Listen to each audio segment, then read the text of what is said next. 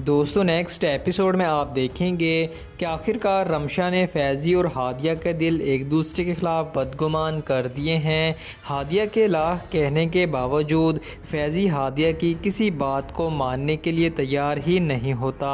जबकि अब हादिया को भी फैज़ी और रमशा की शादी के बारे में इलम हो जाता है। अब यहाँ राज़ी एक मरतबा फिर अपना अहम किरदार निभाएगा और वो रमशा की असलियत फैज़ी के सामने लाएगा कि रमशा एक धोखे धोखेबाज और बदकिरदार लड़की है।